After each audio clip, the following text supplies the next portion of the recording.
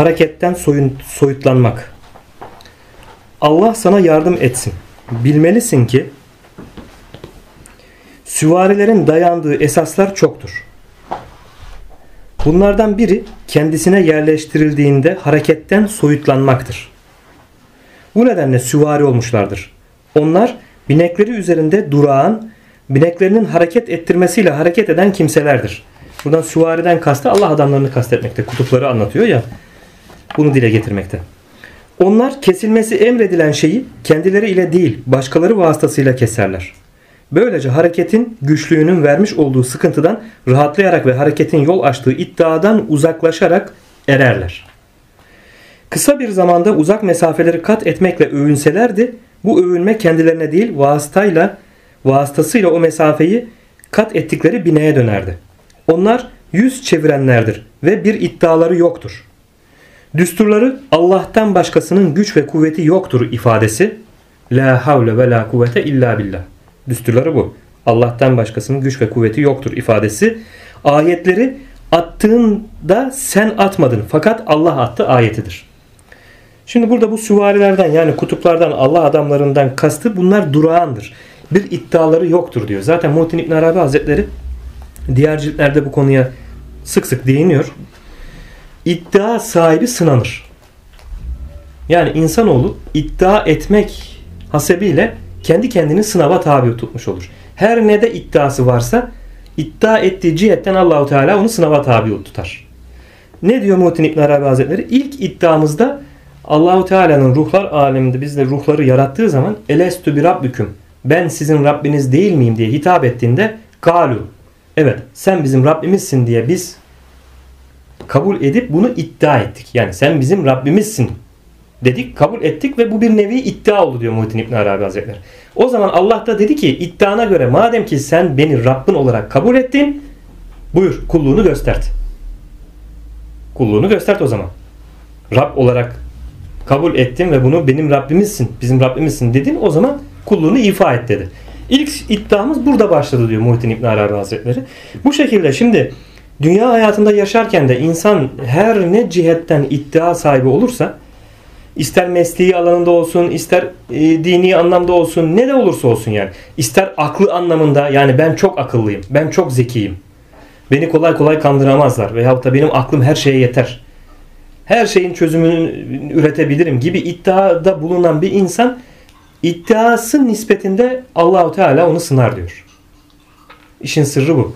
Aklından çok kendine aklına güvenip de aklının çok e, üstün olduğunu iddia ederse bir insan kimse benim bu aklımla beni kandıramaz iddiasında bulunursa aklı cihetinden onu kandıracak insanları başına musallat eder yani Allahu Teala.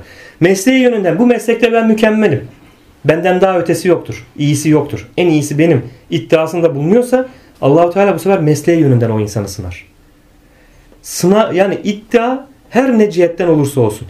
Veyahut da işte ben şöyle bir Müslümanım ki işte Allah'ın e, bu yasak saydığı şu şu şu fiilleri asla ve kat'a işlemem. İşleyenlere hayret etmekteyim. Ne bileyim işte içki içene hayret etmekteyim. Akılsız insanların işi nasıl da içki içiyorlar veyahut da şu günahı işleyene hayret etmekteyim. Ben asla böyle bir günaha düşmem gibi iddiada bulunursa bir insan ve o günahı işleyeni de kınarsa burada o günah cihetinden sınava tabi tutulur. Öyle bir an gelir ki o günahın kendi başında olduğunu açığa çıktığını görür hale gelir. Zaten bu konuda Resulullah Efendimizin de bir hadisi şerifi var. Hani diyor ya kınadığınız şey başınıza gelmedikçe ölmezsiniz. Kardeşinizi kınamayın. İnsanoğludur bu yani. Hataya düşebilir. İnsanız hepimiz. Yaptığımız hata ve kusur cihetinden bir günaha düşebiliriz. Yani burada kınanacak mevzu insanın o fiilidir. İnsan kınanmaz. Yapılan hatadan, kusurdan, o günahtan dolayı ancak o fiil, hoş olmayan, o kötü, kınanmış fiil kınanır. Kişiyi kınadığımız zaman iş değişiyor. Kişiyi kınayamaz. Kişi aslı itibariyle saftır, temizdir. Ancak o, o üzerindeki o gözüken ahlak nedeniyle işte o yaptığı fiil nedeniyle o ahlak, o fiil kınanmış olur. Kınayabileceğimiz odur yani bu noktada. Burada onun için Resulullah Efendimiz diyor kardeşinizi kınamayın. Kınadığınız şey başınıza gelmeden ölmezsiniz. O işte dediğimiz gibi bu mevzuda anlattığımız gibi ben olsam asla böyle bir şey yapmazdım. O demek ki akılsız, şöyle insan, böyle insan, onun için böyle bir hale düştü gibi kınamaya kalkmamak lazım. Hatta burada Muhittin İbn Arabi Hazretleri yeri gelmişken onu da söyleyelim. Miraç mevzusunda kendi miracında peygamberlerle tek tek görüştüğünde Yusuf peygamberle görüşüyor. Yusuf peygamberle görüşmesinden her peygamberden bir hikmet alıyor. Hikmet öğreniyor. Yusuf peygamberle görüşmesinden de şu mevzuyu alıyor, öğreniyor ki e, Yusuf peygamber şunu söylüyor. Ben olsaydım onun onun yaptığını asla yapmazdım deme. Baskın kişi o an üzerindeki baskın hale göre hareket eder. Tecrübe ile varsayım arasındaki fark yerle gök arasındaki fark kadardır diyor. Bakın. Yani insanın işte ben olsaydım onun yaptığını asla yapmazdım deyip kınaması, anlatması afaki, havada kalan bir şeydir. Çünkü sen onun yerinde değilsin. Acaba o ne hal üzereydi? Allah onun üzerinde ne hali baskın hale getirdi de o o davranışta bulundu. Onun için diyor tecrübe ile varsayım arasında yani başına o hal gelen insan ile başına o hale geldiği zaman yaptığı davranış şekli ne davranış sergileyecek. O insan ile varsayım zan üzere hareket eden, etmek arasındaki fark gök ile yer arasındaki fark kadardır diyor yani. Bu kadar büyük bir fark vardır. Kimse varsayımla zanla hareket etmesin diyor yani. Ancak onu tecrübe eden bilir. Çünkü orada Allah o kişi üzerinde ne hali baskın kıldı o hal üzere o fiili işlemek zorunda kaldı, işledi. Bu konuyu iyi idrak etmek lazım. Buradan işte bu Allah adamları, bu süvariler, erenler de durağanlığı esas almışlardır. Kendilerinde bir iddiaları yoktur. Onlar şunu yani kendilerinde iddiaları, iddiaları yoktur derken bir şey yapsalar dahi yaptıkları fiili bineklere atfederler. Burada binek diye neyi kastediyor? Mesela vücut bizim bineğimizdir. Kişiden herhangi bir keramet vuku bulabilir. Ne bileyim e, bir yerden bir yere tayyi mekan yapar. Ehlullah. Burada bu insanlar, bu süvariler, bu ehlullah orada o şeyi kendinden bilmez. Kendine atfetmez yani. Kendi nefsine atfetmez o olağanüstülüğü, o kerameti. Burada bineklerine atfeder diyor. Binek dediği kişinin bedeni diyelim. Beden bedenlerimiz bizim bineklerimiz değil mi? Yani bizim ruhumuzun bineği. Ancak o beden vasıtasıyla biz o ruhumuzun icralarını icra edebiliyoruz, ortaya çıkarabiliyoruz. Dolayısıyla bunlar kendilerine Allah katındaki edeplerinden dolayı, Allah katındaki Allah'a olan saygılarından dolayı, bu durağanlıklarından dolayı, iddialarının olmamasından dolayı bu olan kerametlerde vuku bulan mevzuatı da bineklerine atfederler. Yani Allah'ın bana vermiş olduğu bineğin Allahu Teala o bineğe verdi o kerameti diye kendilerine atfetmezler. Kendilerine bir pay çıkarmazlar. Orada bir gurur ve kibire kapılmamak için, nefsani bir durum oluşmaması için. Bunu dile getirmiş oluyor. Onlara şöyle denilir. Bu mesafeleri kat ettiğinizde onları siz değil binekler kat etmiştir. Anlattığımız mevzu. Onlar taşınanlardır. Dolayısıyla kulun gücü efendisinin otoritesine bağlıdır. Kendisi ise horluk, acizlik, gevşeklik ve zayıflık sahibidir. Ne dedik? Burada bunu bu kişilerin düsturları la havle ve la kuvvete illa billah ayetidir.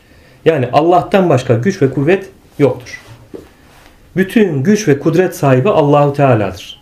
Kişi kendinde ya da başka bir birimlerde asla güç ve kuvvet görmez. Bütün aşikar olan, açığa çıkan güç ve kudret oluşan her şey Allahu Teala'dan kaynaklanmaktadır. Bunu düstur edindikleri için bu hakikati idrak ettikleri için bunlar kendilerine bir şey e, atfetmezler. Dolayısıyla kulun gücü efendisinin otoritesine bağlıdır. Kendisi ise horluk, acizlik, gevşeklik ve zayıflık sahibidir. Bunun bilincindedir. Kul olarak hordur, acizdir, zayıftır. Onlar Allah'ın gece ve gündüzde durağan her şey O'nundur ayetiyle dikkat çektiğini gördüklerinde harekette bir iddiada bulunduğunu halbuki durağanlığa iddianın bulaşmadığını öğrenmişlerdir. Harekette iddia vardır diyor ama durağında durmak sabitlikte yani iddia yoktur. Çünkü durağanlık hareketin reddidir. Bunun üzerine şöyle derler. Allah bize bu manevi mesafenin kat edilmesini emretmiştir.